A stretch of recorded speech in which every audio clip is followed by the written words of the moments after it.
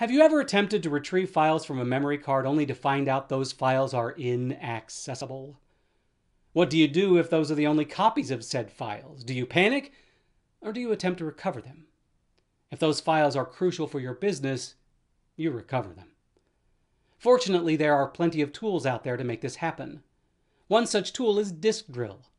At $89, Disk Drill isn't the cheapest option on the market, but it is quite reliable.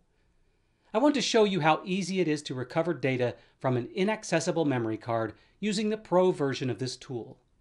In order to recover files, insert the memory card in question and fire up Disk Drill. The card should immediately show up in the Disk Drill main window.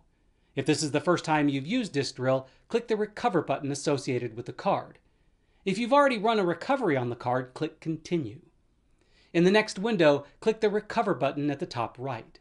As Disk Drill recovers files, you will see a count associated with the scan indicating how many files have been found.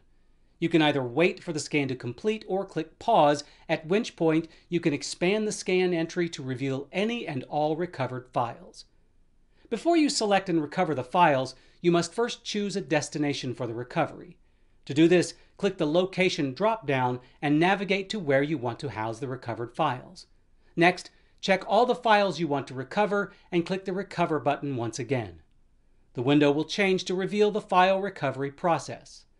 Once the recovery is complete, your files can be found in the location you chose earlier. And that's all there is to recovering files from an inaccessible memory card using Disk Drill. This is one of those tools you hope to never have to use, but will be glad it's there on the off chance you need it. Happy file recovery. Hey everybody!